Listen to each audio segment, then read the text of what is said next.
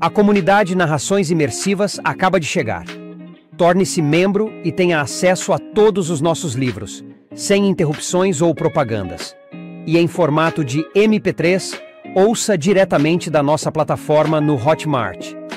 Por menos de uma Coca-Cola por mês, você assina nossa comunidade e apoia diretamente nosso trabalho.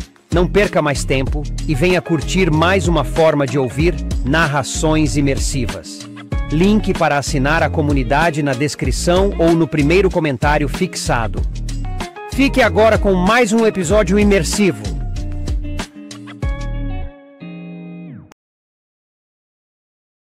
Percy Jackson e os Olimpianos. Escrito por Rick Riordan. Livro 5 O Último Olimpiano. Narração Danilo Oliveira. Capítulo 4 Queimamos uma mortalha de metal. Sonhei que Rachel Elizabeth Dare atirava dardos em um retrato meu. Ela estava em seu quarto. Ok, volte. Preciso explicar que Rachel não tem um quarto. Ela tem todo o andar superior da mansão de sua família, uma das antigas casas de arenito do Brooklyn que foi reformada. Seu quarto é um imenso loft com iluminação industrial e janelas do chão ao teto. Tem mais ou menos o dobro do tamanho do apartamento de minha mãe. Um rock alternativo soava nas caixas ligadas ao seu iPod, todo sujo de tinta. Até onde eu sabia, as únicas regras de Rachel em relação à música eram que, em seu iPod, não podia haver duas músicas semelhantes e todas tinham de ser estranhas. Ela usava um kimono e seu cabelo estava amarfanhado, como se tivesse acabado de acordar. A cama estava desarrumada. Havia vários cavaletes cobertos por lençóis. Roupas sujas e embalagens velhas de barras energéticas estavam espalhadas pelo chão mas quando se tem um quarto desse tamanho, a bagunça não parece assim tão ruim. Pelas janelas, podia-se ver toda a silhueta de Manhattan à noite. O retrato que ela atacava era uma pintura em que eu aparecia erguendo-me sobre o gigante Anteu. Rachel o pintara alguns meses antes. Minha expressão no quadro era feroz, perturbadora até de forma que era difícil dizer se eu era o mocinho ou o bandido. Mas Rachel dissera que minha expressão após a batalha era exatamente aquela. Semideuses! Murmurou Rachel ao atirar outro dardo na tela. E suas estúpidas missões! A maior parte dos dardos quicava, mas alguns se cravaram. Um deles pendia do meu queixo como uma barbicha. Alguém bateu na porta do quarto. Rachel! gritou um homem. O que está fazendo? Desligue essa. Rachel pegou o controle remoto e desligou a música. Entre! Seu pai entrou, mal-humorado e piscando por causa da luz. Ele tinha o cabelo cor de ferrugem, um pouquinho mais escuro que o de Rachel. Estava amassado de um lado como se ele tivesse acabado de perder uma luta contra o travesseiro. O pijama de seda azul tinha o monograma WD bordado no bolso. Francamente, quem é que usa pijama com monograma bordado? O que está acontecendo? Perguntou ele. São três da manhã. Não consegui dormir, disse Rachel. No quadro, um dardo caiu do meu rosto. Rachel pôs a mão para trás para esconder os outros, mas o Sr. Dare percebeu. Então, imagino que seu amigo não vai para St. Thomas. Era assim que o Sr. Dare me chamava, nunca de Percy, apenas seu amigo. Ou jovem, se estivesse falando comigo, o que raramente acontecia. Rachel franziu as sobrancelhas. Não sei, Partiremos pela manhã, disse seu pai. Se ele ainda não se decidiu. Ele provavelmente não vai, disse Rachel infeliz. Está satisfeito? O Sr. Dare pôs as mãos para trás.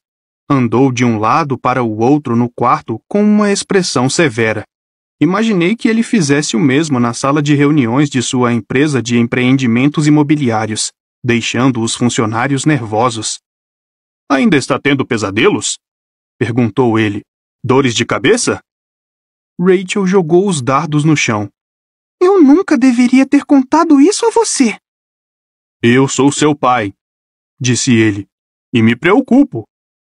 Preocupa-se com a reputação da família, murmurou Rachel. O pai não reagiu.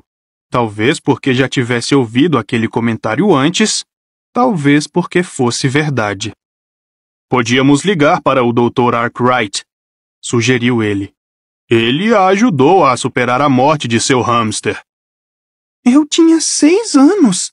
E. Não, papai, não preciso de um terapeuta. Eu só. Ela sacudiu a cabeça, impotente. O pai parou diante das janelas. Olhou a silhueta dos prédios de Nova York como se fosse seu proprietário. O que não era verdade. Era dono só de alguns deles. Vai ser bom para você sair um pouco daqui, concluiu ele. Tem estado sob más influências. Eu não vou para a academia de moças de Clarion, afirmou Rachel. E meus amigos não são da sua conta. O Sr. Dare sorriu mas não era um sorriso terno.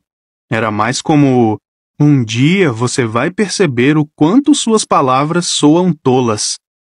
Tente dormir um pouco, sugeriu ele. Estaremos na praia amanhã à noite. Vai ser divertido. Divertido? repetiu Rachel. Muito divertido. O pai saiu do quarto e deixou a porta aberta. Rachel olhou para o meu retrato. Então se dirigiu ao cavalete ao lado dele, que estava coberto por um lençol. Espero que sejam só sonhos, disse ela. Ela descobriu o cavalete. Ali havia um desenho a carvão traçado apressadamente, mas Rachel era uma artista muito boa. O quadro era, definitivamente, Luke quando criança. Tinha uns nove anos, um sorriso largo e nenhuma cicatriz no rosto, eu não fazia a menor ideia de como Rachel podia saber como ele era naquela época, mas o retrato era tão bom que tive a impressão de que ela não estava apenas supondo. Pelo que eu sabia sobre a vida de Luke, que não era muito, o retrato o mostrava pouco antes de ele descobrir que era um meio-sangue e fugir de casa. Rachel fitou o desenho. Então, descobriu o cavalete seguinte. A imagem ali era ainda mais perturbadora. Mostrava o Empire State Building cercado por raios. À distância, uma tempestade escura se formava, com uma imensa mão saindo das nuvens. Na base do edifício havia uma multidão. Mas não era uma multidão comum de turistas e pedestres. Eu via lanças, dardos e estandartes, os acessórios de um exército. Percy! Murmurou Rachel, como se soubesse que eu a ouvia. O que está acontecendo? O sonho se desfez, e a última coisa de que me lembro foi de desejar poder responder aquela pergunta. Na manhã seguinte eu queria ligar para ela, mas não havia telefones no acampamento. Dioniso e Kiron não precisavam de uma linha telefônica. Eles simplesmente falavam com o Olimpo via mensagem de íris sempre que precisavam de alguma coisa. E quando os semideuses usam telefone celular, os sinais agitam todos os monstros em um raio de 150 quilômetros. É como enviar um sinal luminoso: Estou aqui, por favor, remodele a minha cara. Mesmo dentro dos limites seguros do acampamento, esse não é o tipo de anúncio que queremos fazer. A maioria dos semideuses, exceto Annabeth e alguns outros, nem tem celular. E eu, definitivamente, não podia dizer a Annabeth: Ei, me empreste seu telefone para eu ligar para Rachel. Para fazer a ligação, eu teria de sair do acampamento e andar vários quilômetros até a loja de conveniência mais próxima. Mesmo que Kiron me deixasse ir, Rachel já estaria no avião, a caminho de St. Thomas. Tomei um deprimente e solitário café da manhã na mesa de Poseidon. Fiquei olhando a fenda no piso de mármore onde dois anos antes Nico havia banido para o mundo inferior um bando de esqueletos sedentos de sangue. A lembrança não aumentou meu apetite. Depois do café da manhã, Annabeth e eu fomos fazer a inspeção dos chalés. Na verdade, era a vez de Annabeth fazer a inspeção. Minha tarefa matinal era organizar relatórios para Kiron, mas como ambos detestávamos nossas tarefas, resolvemos cumpri-las juntos para que não fossem assim tão abomináveis. Começamos pelo chalé de Poseidon, que era basicamente meu. Arrumara meu beliche naquela manhã, bem mais ou menos, e endireitara o chifre do minotauro na parede, de modo que me dei nota 4 de um total de 5. Annabeth fez uma careta. Está sendo generoso. Ela usou a ponta de seu lápis para pegar um velho calção de corrida. Tomei dela o calção. Ei, me dê uma folga. Não tenho Tyson para arrumar as coisas para mim este verão. Três de cinco, disse Annabeth. Eu sabia que era melhor não discutir com ela, portanto, prosseguimos. Tentei examinar a pilha de relatórios de Kiron enquanto andávamos. Havia mensagens de semideuses, espíritos da natureza e sátiros de todas as partes do país contando sobre recentes atividades de monstros. Eram bastante deprimentes. E meu cérebro, com seu transtorno do déficit de atenção e hiperatividade, não gostava de se concentrar em coisas deprimentes. Pequenas batalhas estavam sendo travadas por toda parte. O recrutamento de campistas estava reduzido a zero os sátiros estavam tendo dificuldade em encontrar novos semideuses e trazê-los para a colina meio-sangue por causa do número de monstros que vagavam pelo país. Nossa amiga Talia, que liderava as caçadoras de Artemis, não dava notícias fazia meses. E se Artemis sabia o que acontecera a elas, não partilhava a informação. Visitamos o chalé de Afrodite, que naturalmente recebeu nota 5. As camas estavam perfeitamente arrumadas. As roupas nos baús de todos eram organizadas conforme a cor. Flores brotavam no peitoril das janelas.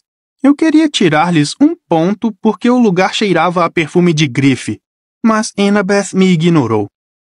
Excelente trabalho. Como sempre, Silena, disse ela. Silena assentiu, indiferente. A parede atrás da cama dela era decorada com fotografias de Beckendorf. Ela estava sentada no beliche com uma caixa de chocolates no colo. E eu lembrei que seu pai era dono de uma loja de chocolates no Village. Fora assim que ele chamara a atenção de Afrodite. Quer um bombom? ofereceu Silena. Meu pai me mandou. Pensou. Pensou que poderiam me animar. São bons? Perguntei. Ela sacudiu a cabeça. Tem gosto de papelão. Eu não tinha nada contra papelão, então experimentei um. Annabeth recusou. Prometemos encontrar Silena mais tarde e prosseguimos. Quando cruzávamos a área comum, começou uma briga entre os chalés de Ares e de Apolo. Alguns campistas de Apolo, armados com bombas, atacaram o chalé de Ares em uma carruagem puxada por dois Pégasos. Eu nunca vira a carruagem antes, mas me pareceu boa para um belo passeio. Logo, o telhado do chalé de Ares estava pegando fogo e náiades do lago de canoagem corriam até o local para jogar água. Então, os campistas de Ares lançaram uma maldição e todas as flechas dos filhos de Apolo se transformaram em borracha. Os filhos de Apolo continuavam a atirar contra os de Ares, mas as flechas batiam e quicavam. Dois arqueiros passaram correndo, perseguidos por um filho de Ares furioso que gritava em versos: Maldição! Pois sim! Vocês vão me pagar! Não quero passar o dia todo a rimar! Annabeth suspirou. Isso de novo não. Da última vez que Apolo amaldiçoou um chalé, levou uma semana até que terminassem as parelhas de versos. Estremeci. Apolo era o deus da poesia, assim como do tiro com arco, e eu já o ouvira recitar pessoalmente. Acho que prefiro ser ferido por uma flecha. Por que eles estão brigando, afinal? Perguntei. Annabeth me ignorou enquanto escrevia em seu pergaminho de inspeção, dando aos dois chalés nota 1. Eu me vi olhando para ela, o que era estúpido, pois já a tinha visto um bilhão de vezes. Neste verão estávamos aproximadamente com a mesma altura, o que era um alívio. Ainda assim, ela parecia bem mais madura, e isso era um pouco intimidador. É claro, ela sempre fora bonitinha, mas estava começando a ficar bonita de verdade. Por fim, ela disse: Aquela carruagem voadora. O quê? Você perguntou por que eles estavam brigando. Ah, ah, certo. Eles a capturaram em um combate na Filadélfia na semana passada. Alguns dos semideuses de Luke estavam lá com essa carruagem voadora. O chalé de Apolo apoderou-se dela durante a batalha, mas foi o chalé de Ares que liderou o ataque. Por isso eles estão brigando desde então. Nós nos abaixamos quando a carruagem de Michael Hill bombardeou um campista de Ares. Este tentou atingi-lo e começou a xingá-lo em parelhas de versos, e foi bastante criativo nas rimas. Estamos lutando para salvar nossas vidas, disse eu, e eles estão brigando por causa de uma carruagem estúpida. Vão superar isso. Clarice vai recobrar o juízo, disse Annabeth. Eu não tinha tanta certeza. Recobrar o juízo não parecia próprio da Clarice que eu conhecia. Examinei mais relatórios e inspecionamos mais alguns chalés. Deméter ganhou quatro, Hefesto, três, e provavelmente teria uma nota menor. Mas com a morte de Beckendorf e tudo mais, nós lhe demos uma folga. Hermes ganhou dois, o que não era nenhuma surpresa. Todos os campistas que não conheciam sua ascendência divina eram enfiados no chalé de Hermes. E como os deuses eram meio esquecidos, aquele chalé estava sempre superlotado. Finalmente, chegamos ao chalé de Atena, que estava arrumado e limpo como sempre. Os livros estavam organizados nas prateleiras. A armadura estava polida. Mapas de batalha e projetos de arquitetura decoravam as paredes. Somente o beliche de Annabeth estava bagunçado. Estava coberto de papéis e seu laptop prateado ainda estava ligado. Vlacas! murmurou Annabeth, o que era basicamente chamar a si mesmo de idiota em grego. Seu substituto no comando, Malcolm, reprimiu um sorriso. É. Uh, limpamos todo o resto. Não sabíamos se era seguro mexer nas suas anotações. Isso provavelmente foi sábio. Annabeth tinha uma faca de bronze que reservava apenas para monstros e pessoas que mexiam nas suas coisas. Malcolm sorriu para mim. Vamos esperar lá fora enquanto vocês terminam a inspeção. Os campistas de Atenas saíram em fila enquanto Annabeth limpava seu beliche. Eu mudava de posição constrangido e fingia examinar mais alguns relatórios. Tecnicamente, mesmo durante a inspeção, era contra o regulamento do acampamento que dois campistas ficassem. assim. sozinhos em um chalé.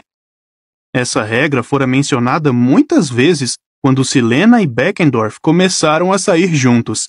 E eu sei que alguns de vocês devem estar pensando: todos os semideuses não são aparentados pelo lado divino, e isso não faz com que namorar seja repulsivo? Mas o fato é que o lado divino da família não conta, geneticamente falando, posto que os deuses não têm DNA. Um semideus jamais pensaria em namorar alguém que tivesse o mesmo pai ou mãe divino. Dois campistas do chalé de Atena, por exemplo? Impossível. Mas uma filha de Afrodite e um filho de Hefesto? Eles não são parentes. Então, não há problema. De qualquer forma, por alguma estranha razão, eu estava pensando nisso enquanto observava Annabeth arrumar tudo. Ela fechou o laptop, que lhe fora dado de presente pelo inventor Dédalo no verão passado. Pigarriei. Então, tirou alguma informação interessante dessa coisa? Muitas, disse ela. Dédalo tinha tantas ideias que eu poderia passar cinquenta anos só tentando entender todas elas. É, seria muito divertido, murmurei. Ela remexeu em seus papéis. A maior parte desenhos de edifícios e um punhado de anotações feitas à mão. Eu sabia que ela queria ser arquiteta, mas aprendera da maneira mais difícil a não perguntar em que ela estava trabalhando. Ela começaria a falar sobre ângulos e junções de sustentação até me deixar tonto. Você sabe. Ela prendeu o cabelo atrás da orelha, como faz quando está nervosa. Essa coisa toda com Beckendorf e Silena, isso faz a gente pensar sobre o que é importante sobre perder pessoas que são importantes. Fiz que sim com a cabeça. Meu cérebro começou a deter-se em pequenos detalhes aleatórios, como o fato de ela ainda estar usando aqueles brincos de coruja de prata dados pelo pai, que era um professor de história militar sabichão e vivia em São Francisco. Ah, é, gaguejei. Como. Está tudo bem com sua família? Está certo. Uma pergunta totalmente estúpida. Mas, puxa, eu estava nervoso. Annabeth pareceu desapontada, mas assentiu. Meu pai queria me levar à Grécia neste verão, disse ela, melancólica. Eu sempre quis ver. O Partenon, lembrei. Ela conseguiu dar um sorriso. É. Tudo bem. Vai haver outros verões, certo? Assim que disse estas palavras, percebi que era um comentário idiota. Eu estava diante do fim dos meus dias.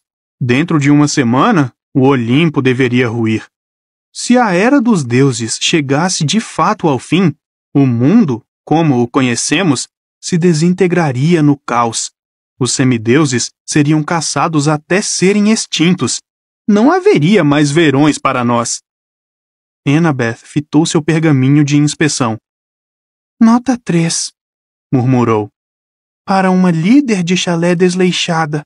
Venha, vamos terminar com esses relatórios e encontrar Kiron. A caminho da Casa Grande, lemos o último relatório, manuscrito em uma folha de bordo por um sátiro no Canadá. Se é que isso era possível, o bilhete fez com que eu me sentisse ainda pior. Caro Grover, li em voz alta.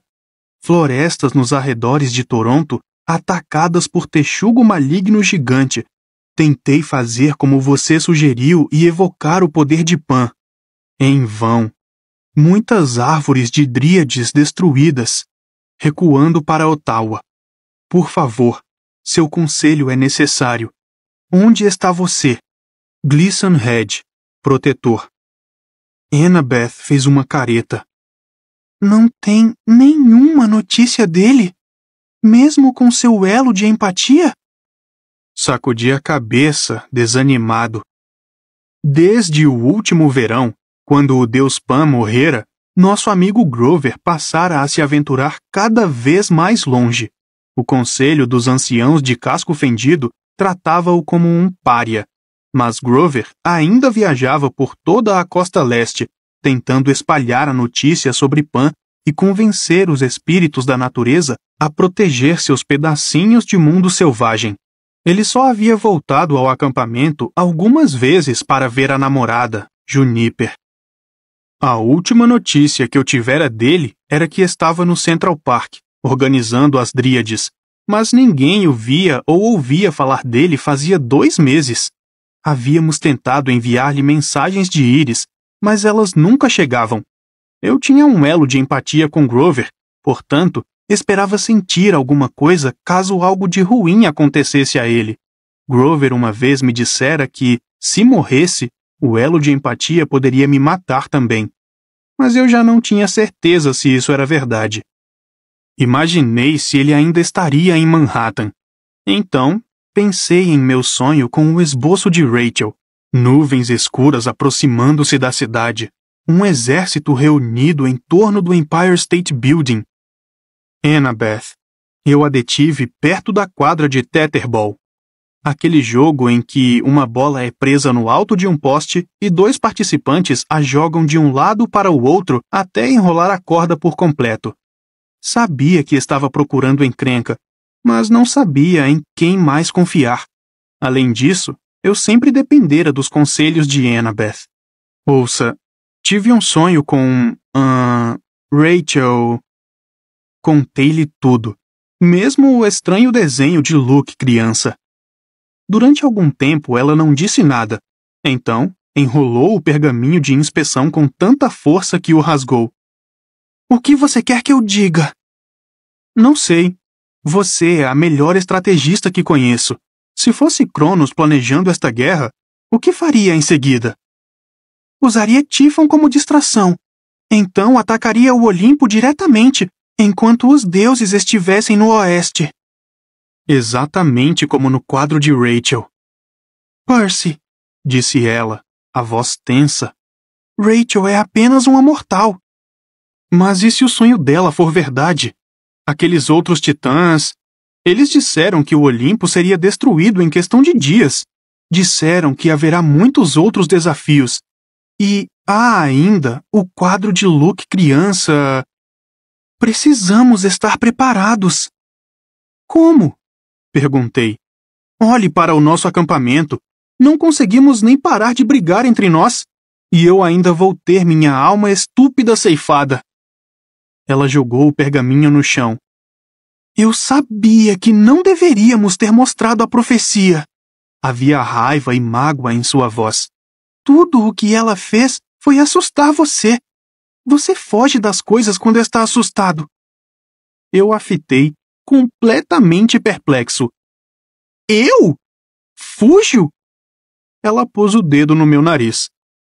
É isso mesmo. Você é um covarde, Percy Jackson. Estávamos cara a cara. Os olhos dela estavam vermelhos, e de repente eu percebi que, ao me chamar de covarde, talvez ela não estivesse se referindo à profecia. Se acha que não temos chances, disse ela. Talvez tivesse sido melhor você ter saído de férias com Rachel. Annabeth. Se não gosta da nossa companhia. Isso não é justo. Ela passou por mim e foi pisando duro na direção dos campos de morango. Ao passar, bateu na bola de Tetherball, que girou com força em torno do poste. Gostaria de poder dizer que meu dia melhorou a partir dali mas é claro que não. Naquela tarde, tivemos uma assembleia junto à fogueira para queimar a mortalha de Beckendorf e nos despedirmos dele. Até mesmo os chalés de Ares e Apolo fizeram uma trégua temporária para comparecer. A mortalha de Beckendorf era feita de elos de metal, como uma malha de aço. Eu não via como aquilo iria queimar, mas as parcas deviam estar ajudando. O metal derreteu no fogo e transformou-se em fumaça dourada que se elevou ao céu. As chamas da fogueira sempre refletiam o estado de espírito dos campistas, e hoje elas queimavam negras. Eu esperava que o espírito de Beckendorf terminasse no Elísio. Talvez ele até optasse por renascer e tentar alcançar o Elísio em três vidas diferentes, de modo que pudesse chegar às Ilhas dos Abençoados que eram como o último quartel-general do mundo inferior. Se alguém merecia chegar lá, era Beckendorf. Annabeth saiu sem falar comigo. A maior parte dos outros campistas se afastou, voltando às suas atividades vespertinas. Eu fiquei ali parado, fitando o fogo que se extinguia. Silena estava sentada ali perto, chorando, enquanto Clarice e o namorado Chris Rodrigues tentavam consolá-la. Por fim, juntei coragem para ir até ela. Ei, Silena, eu sinto muito mesmo. Ela fungou. Clarice me fuzilou com o olhar, mas ela sempre fuzila todo mundo com o olhar. Chris mal me olhava. Ele fora um dos homens de Luke até Clarice resgatá-lo do labirinto no verão passado, e acho que ainda se sentia culpado por isso. Pigarriei. Silena, você sabe que Beckendorf levava sua foto com ele. Ele olhou para ela antes de começarmos a batalha. Você significava muito para ele. Fez com que o último ano fosse o melhor da vida dele. Silena soluçou. Bom trabalho, Percy, murmurou Clarice. Não, está tudo bem, disse Silena. Obrigada. Obrigada, Percy. Eu preciso ir. Quer companhia? perguntou Clarice. Silena sacudiu a cabeça e saiu correndo. Ela é mais forte do que parece, murmurou Clarice quase para si mesma. Vai sobreviver. Nisso você podia ajudar, sugeri. Podia honrar a memória de Beckendorf lutando conosco. Clarice procurou sua faca, mas não a encontrou. Ela a havia atirado na mesa de ping-pong na casa grande. Não é problema meu, grunhiu ela. Se meu chalé não é prestigiado, eu não luto. Percebi que ela não estava falando em rimas. Talvez não estivesse por perto quando seus companheiros de chalé foram amaldiçoados, ou talvez conhecesse uma forma de quebrar o feitiço. Com um calafrio, imaginei se Clarice poderia ser o espião de Cronos no acampamento. Seria por isso que ela estava mantendo seu chalé fora da luta?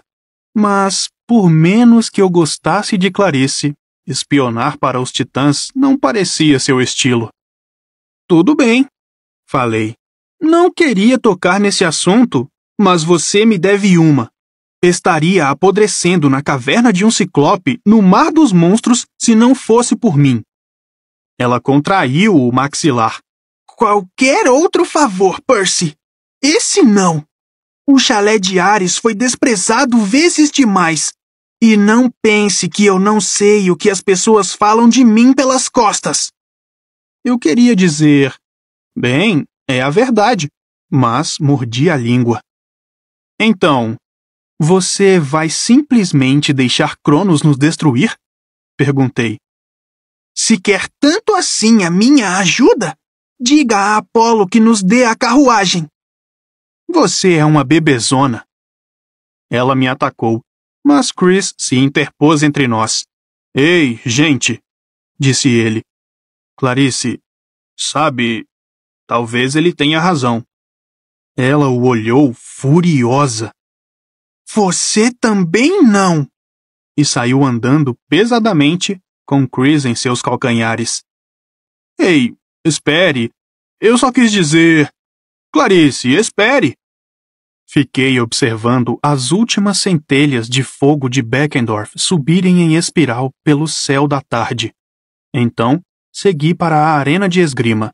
Eu precisava de um descanso e queria ver uma velha amiga.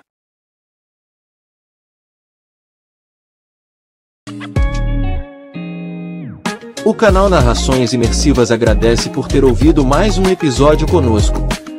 Acompanhe nossa página no Instagram e fique por dentro de todas as novidades do canal. E se você vê valor nesse projeto, considere apoiá-lo. Faça parte da nossa comunidade no Hotmart. Até a próxima com mais uma narração imersiva.